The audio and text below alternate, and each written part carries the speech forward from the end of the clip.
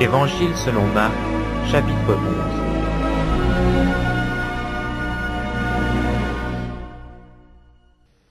Lorsqu'ils approchèrent de Jérusalem et qu'ils furent près de Bethphagée de Béthanie, vers la montagne des Oliviers, Jésus envoya deux de ses disciples en leur disant, Allez au village qui est devant vous, dès que vous y serez entrés, vous trouverez un anon attaché, sur lequel aucun homme ne s'est encore assis. Détachez-le et amenez-le. Si quelqu'un vous dit, Pourquoi faites-vous cela? répondez, Le Seigneur en a besoin, et à l'instant il le laissera venir. Les disciples étant allés, trouvèrent l'anon attaché dehors, près d'une porte, au contour du chemin, et ils le détachèrent. Quelques-uns de ceux qui étaient là leur dirent, Que faites-vous? Pourquoi détachez-vous cet anon Ils répondirent comme Jésus l'avait dit, et on les laissa aller. Ils amenèrent à Jésus l'anon sur lequel ils jetèrent leurs vêtements, et Jésus s'assit dessus.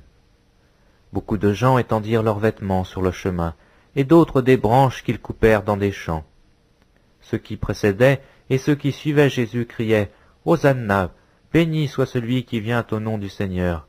Béni soit le règne qui vient, le règne de David, notre Père. Hosanna dans les lieux très hauts. Jésus entra à Jérusalem dans le temple. Quand il eut tout considéré, comme il était déjà tard, il s'en alla à Béthanie avec les douze. Le lendemain, après qu'ils furent sortis de Béthanie, Jésus eut faim. Apercevant de loin un figuier qui avait des feuilles, il alla voir s'il y trouverait quelque chose. Et s'en étant approché, il ne trouva que des feuilles, car ce n'était pas la saison des vignes. Prenant alors la parole, il lui dit, Que jamais personne ne mange de ton fruit. Et ses disciples l'entendirent. Ils arrivèrent à Jérusalem, et Jésus entra dans le temple. Il se mit à chasser ceux qui vendaient et qui achetaient dans le temple. Il renversa les tables des changeurs et les sièges des vendeurs de pigeons. Et il ne leur laissait personne transporter aucun objet à travers le temple.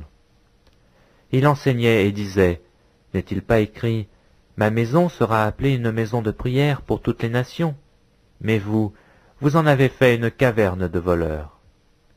Les principaux sacrificateurs et scribes, l'ayant entendu, cherchèrent les moyens de le faire périr, car ils le craignaient, parce que toute la foule était frappée de sa doctrine.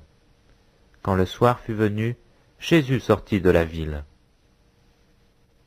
Le matin, en passant, les disciples virent le figuier séché jusqu'aux racines. Pierre, se rappelant ce qui s'était passé, dit à Jésus, Rabbi, regarde, le figuier que tu as maudit a séché. Jésus prit la parole et leur dit, Ayez foi en Dieu. Je vous le dis en vérité, si quelqu'un dit à cette montagne, ôte-toi de là, et jette-toi dans la mer, et s'il ne doute point en son cœur, mais croit que ce qu'il dit arrive, il le verra s'accomplir. C'est pourquoi je vous dis, tout ce que vous demanderez en priant, croyez que vous l'avez reçu, et vous le verrez s'accomplir. Et lorsque vous êtes debout, faisant votre prière, si vous avez quelque chose contre quelqu'un, pardonnez, afin que votre Père qui est dans les cieux vous pardonne aussi vos offenses.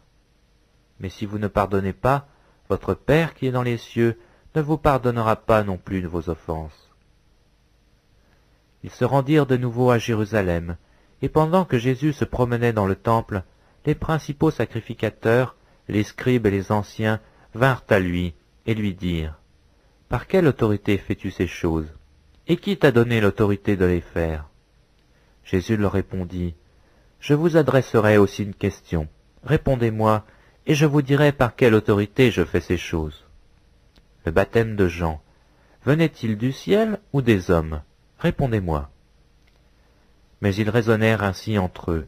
Si nous répondons du ciel, il dira, Pourquoi donc n'avez-vous pas cru en lui? Et si nous répondons des hommes, il craignait le peuple, car tous tenaient réellement Jean pour un prophète. Alors ils répondirent à Jésus, Nous ne savons.